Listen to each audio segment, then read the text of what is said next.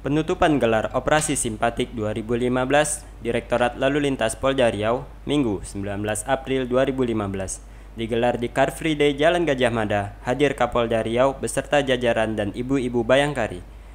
Rangkaian penutupan operasi simpatik ini digelar berbagai kegiatan untuk lebih mendekatkan kepada masyarakat.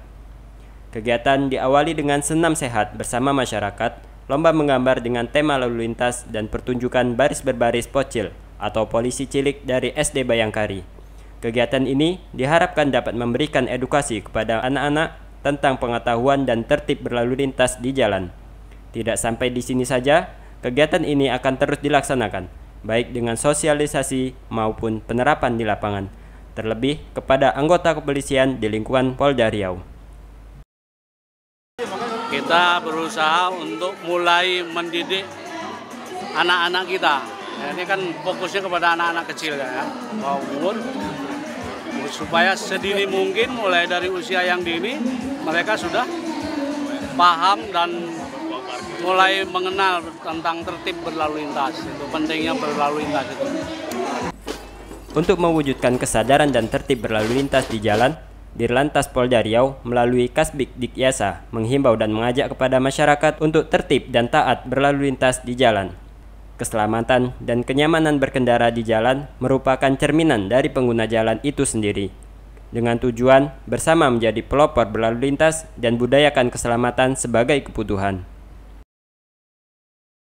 Edukasinya adalah dengan uh, cinta dia dengan kepolisian, cinta dia dengan tertib berlalu lintas, diharapkan ke depannya mereka juga akan selalu tertib dalam berlalu lintas. Untuk penerapannya sendiri Bu nanti?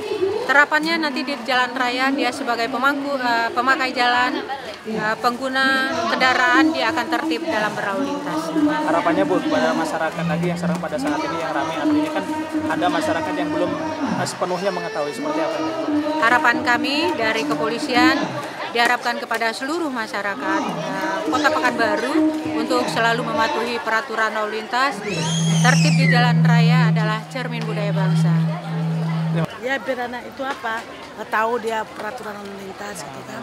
Seperti misalnya kayak penyeberangan atau kayak apa teman tuh rambu-rambu gitu kan. itulah gunanya kan biar tertib ya biar tahu peraturan lalu lintas. Sejauh ini Bu, menurut Ibu sendiri ya, aturan lalu lintas seperti ini sekarang ini seperti apa ya? Uh, yang saya tahu kalau misalnya pagi hmm. mo uh, motor harus hidup lampu. Hmm. Terus anak-anak ini seperti anak sekolah kan ada uh, apa, apa namanya tuh uh, penyeberangan untuk sekolah tuh kan ada, ada khusus tuh harus nyebrang di situ.